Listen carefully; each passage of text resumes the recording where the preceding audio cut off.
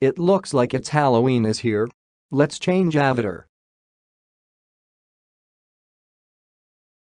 Well. This is my Halloween Avatar 2022. What do you think?